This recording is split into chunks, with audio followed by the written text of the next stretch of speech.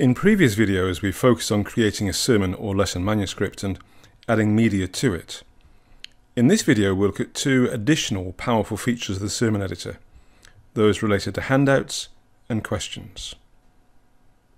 In your sermon document, click Handout in the top menu, and this switches to the Handout view. This is created automatically from the manuscript, based on heading structures.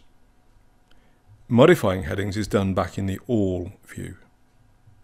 To draw attention to the translation of believes in John 7:38, add translation points to just before that discussion, and then specify it to appear in the handout by selecting it and clicking the Include in Handout button.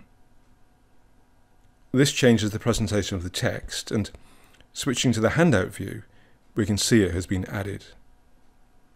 To defocus the future reality in the handout, select it and click the handout button.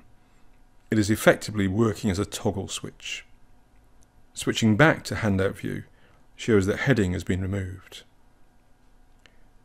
To be able to make this available to your congregation or class, click Export in the top right of the panel and select Print Export. This allows you to either print the handout or to export it as a file or directly into a word processing package. You can create questions for people to think about in a similar way. Going back to the main view, add questions to the manuscript, such as Why do you think Jesus waits till the last day of the feast? And how would you have responded to this promise of living water?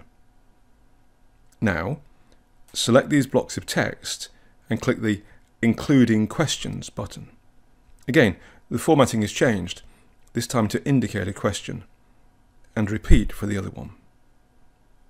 Click the question view to show that these questions have been added to the set of questions, which can be exported in an identical manner to the handout document.